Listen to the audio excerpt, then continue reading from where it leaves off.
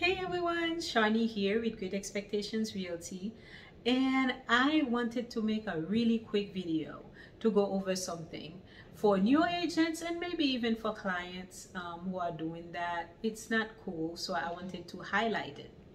Um, so when I just became an agent, this happened to me so many times and it made me upset i would say because it's not cool for people to use people like that.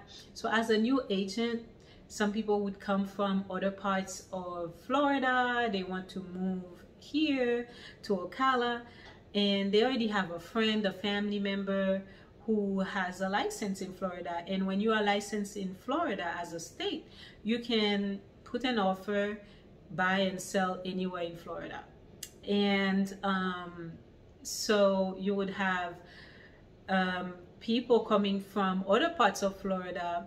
They already have an agent. They already have a family member who, who is an agent, but they don't know the area. So what they would do is um, have an agent here in Marion County in Ocala do all the legwork.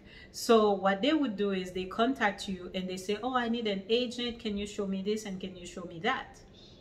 In the beginning though, as a new agent, I don't know. I wasn't easy to ask people to sign a buyer broker agreement with me. I don't know why.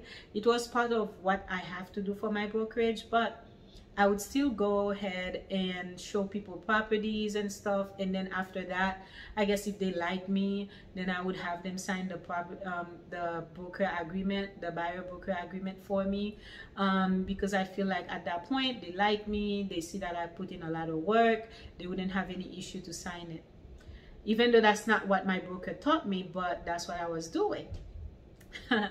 but I was wrong. After a few times that happened to me, first there was a lady that called me from St. Pete's area and she had a million questions about buying here in Ocala. I set her up with a with a um, automatic search so she would get like emails every day about properties that she likes and she would ask me questions she want to know what part of Ocala they are you know she wants me to give her all kind of information and i gave that to her and then soon she told me she's coming to ocala to check out the area or whatnot so i was like okay um, i can meet you um, you know let's meet at a starbucks or something let's go over some listings and then i'll go show you some and then she didn't want to meet with me i was like okay I don't understand. She's like, oh no, don't worry.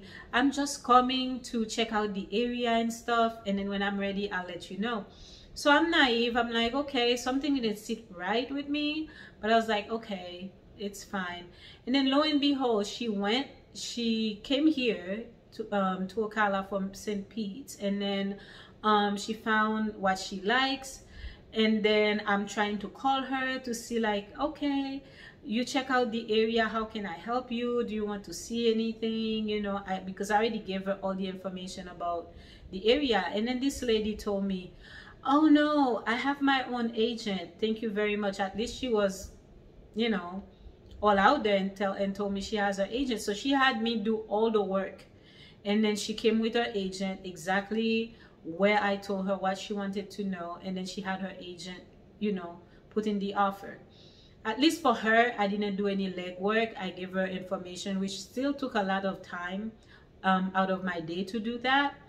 But then i had another one who came here and um, they had me show them eight houses in one day and I didn't have them sign a buyer broker agreement first. I drove all day. I was hungry.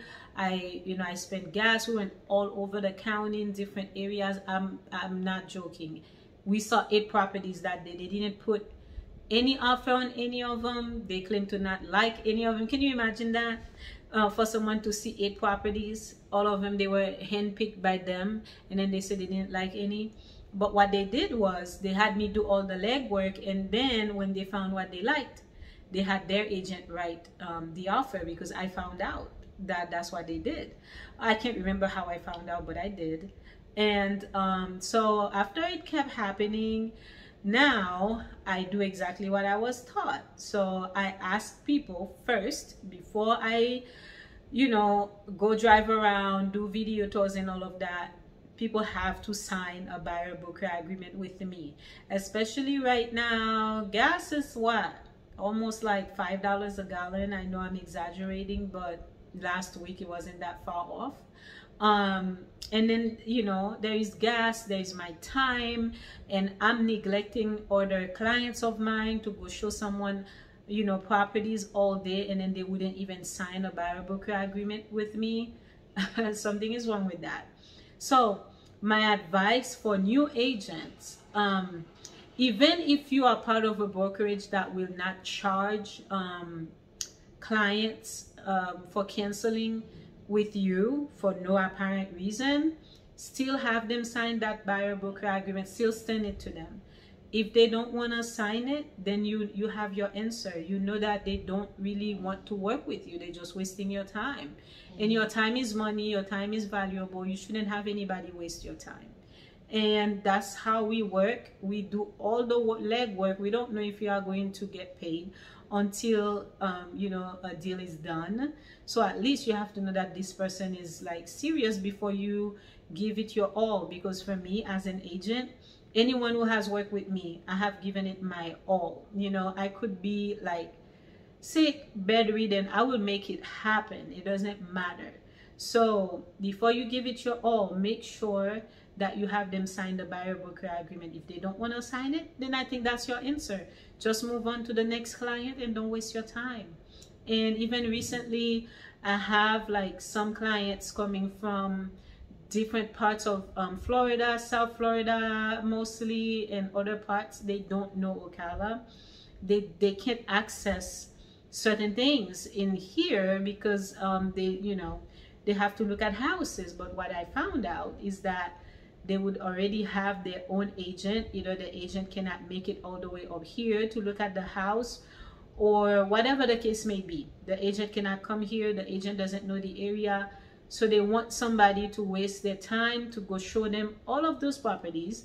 They want you to drive from one end of the county to the other end but they have no intention or um, in doing business with you so that's what has happened to me recently but I know how to weed them out now.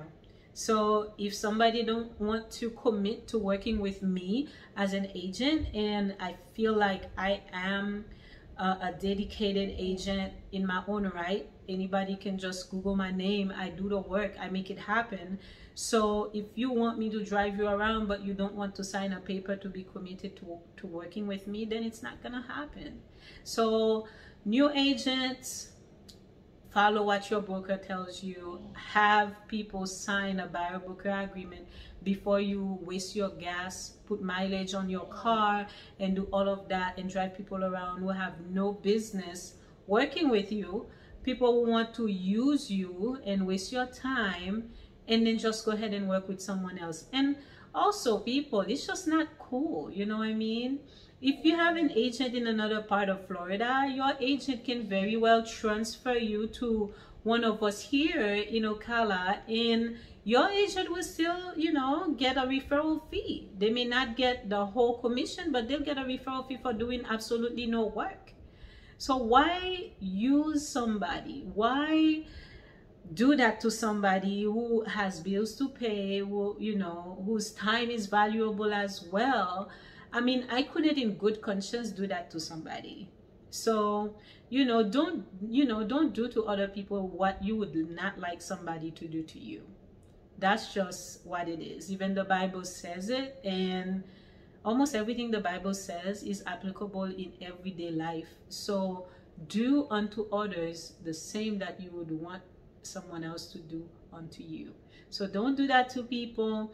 No use people and new agents cover your bases whether or not you charge a fee if they cancel with you is up to you if you know but let's say they don't want to sign that buyer broker agreement then you have your answer. Whether you would want to you know not charge them that fee at the end i don't know what it is. But craft your agreement in a way that would protect you.